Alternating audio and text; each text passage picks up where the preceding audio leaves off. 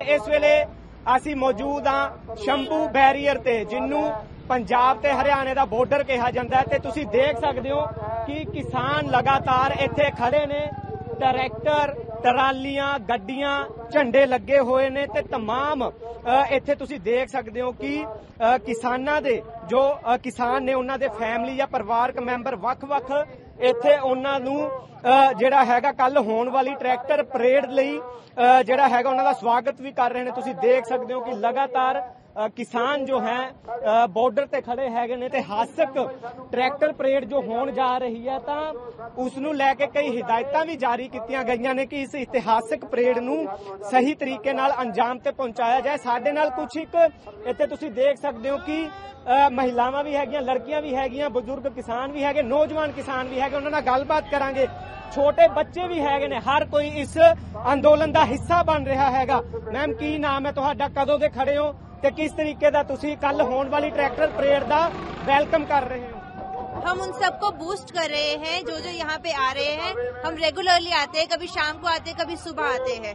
उनको बूस्ट करने के लिए क्योंकि ये कानून में जमाखोरी है।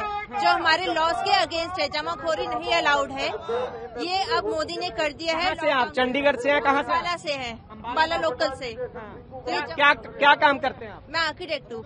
आर्किटेक्ट हाँ जी। तो हम किसानों के साथ हैं हम उनका हक है। उनका नहीं हमारी आने वाली जनरेशन के लिए खड़े हैं हम यहाँ पे। तो आप आप आप क्या करते हैं? स्कूल में पढ़ते हैं और कब से खड़े हैं यहाँ अभी हम एक घंटे से खड़े हैं यहाँ पे। और हम चाहे अभी कॉमन हम कॉमन लोग हैं लेकिन हम किसानों के साथ हैं। बहुत अच्छी तरह देखते हैं जी। अपने पास कोई हथियार है नहीं जी बिल्कुल। अपना तो यही हथियार है जी ट्रैक्टर। जिम्मेदारों का ना जो ट्रैक्टर हथियार है यही हमारे पास है बाकी हमको ये टाइम की कोई बात नहीं अगर तो कल मान के ठीक है नहीं मानने के छह महीने लगो साल लगो दो लगो कोई दिक्कत नहीं वहीं बैठेंगे जी हाँ, जी, ऐसे बैठ के हाँ वे इन्होंने तरीक पे तरीक दे के किसानों का पागल बना दिया जी इन्होंने ਦੇਖੋ ਸਾਰੇ ਪਰਿਵਾਰਾਂ ਦੇ ਹੀ ਇੱਕ ਆਪਸ ਉਹਨਾਂ ਦਾ ਇੱਕ ਜ਼ਮੀਰ ਜਾਗਿਆ ਹੋਇਆ ਉਹ ਨਹੀਂ ਚਾਹੁੰਦੇ ਕਿ ਇਹ ਜਿਹੜਾ ਇਤਿਹਾਸਕ ਦਾ ਦਿਨ ਬਣਨ ਜਾ ਰਿਹਾ ਵੀ ਤਾਂ ਜੋ ਅਸੀਂ ਸਾਡੇ ਪਰਿਵਾਰ ਇਸ ਤੋਂ ਵਾਂਝੇ ਰਹਿ ਸਕੀਏ ਅਸੀਂ ਆਉਣ ਵਾਲੀਆਂ ਨਸਲਾਂ ਨੂੰ, ਸਾਡੀਆਂ ਜੋ ਆਉਣ ਵਾਲੀਆਂ ਨਸਲਾਂ, ਸਾਨੂੰ ਉਲਾਂਭਾ ਨਾ ਦੇਣ ਕਿ ਅਸੀਂ ਇਸ ਸੰਘਰਸ਼ ਦਾ ਹਿੱਸਾ ਨਹੀਂ ਬਣੇ।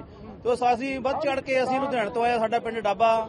ਅਸੀਂ ਵੀ ਕੱਲ ਵੀ ਆਏ ਸੀ, ਅੱਜ ਵੀ ਅਸੀਂ ਇਹ ਕਿਸਾਨੀ ਸੰਘਰਸ਼ ਦੇ ਵਿੱਚ ਹਿੱਸਾ ਪਾਉਣ ਲਈ ਆਏ ਹਾਂ, ਤਾਂ ਜੋ ਕਿਸੇ ਚੀਜ਼ ਦੀ ਕੋਈ ਕਮੀ ਨਾ ਰਹੇ, ਲੋਕਾਂ ਨੂੰ ਇੱਕ ਹੌਸਲਾ ਦੇਣ ਵੀ ਆਏ ਵੀ ਕ- ਘਬਰਾਉਣ ਦੀ ਲੋੜ ਨਹੀਂ। ਇਹ ਇੱਕ ਬਹੁਤ ਵੱਡਾ ਦੁਨੀਆ ਦਾ ਇਤਿਹਾਸ ਬਣਨ ਜਾ ਰਿਹਾ, ਨਾ ਕਿ ਕਿਸੇ ਹਿੰਦੁਸਤਾਨ ਦਾ।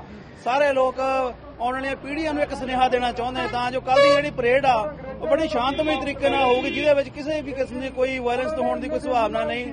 ਕੋ ਪਹਿਲੇ ਦਿਨ ਤੋਂ ਜਥੇਬੰਦੀਆਂ ਨੇ ਸਾਡੀਆਂ ਨੇ ਸਾਨੂੰ ਸਮਝਾਇਆ ਹੋਇਆ ਕਿ ਸਰਕਾਰਾਂ ਦਾ ਚਾਹੁੰਦੀਆਂ ਨੇ ਵੀ ਇਹ ਜੇ ਕੁਝ ਹੋਵੇ, ਪਰ ਨਹੀਂ।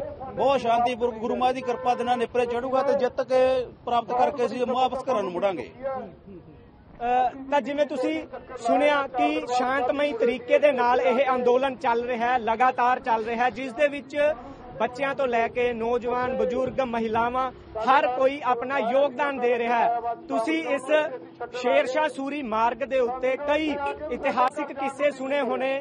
ਕਿਸਾਨਾਂ ਦੇ ਹਥਿਆਰ ਤੁਹਾਨੂੰ ਇਸ ਰੋਡ ਤੇ ਦਿਖਣਗੇ। ਟਰੈਕਟਰ, ਗੱਡੀਆਂ ਕਿਸਾਨਾਂ ਦੇ ਹਥਿਆਰ ਦਿਖਣਗੇ।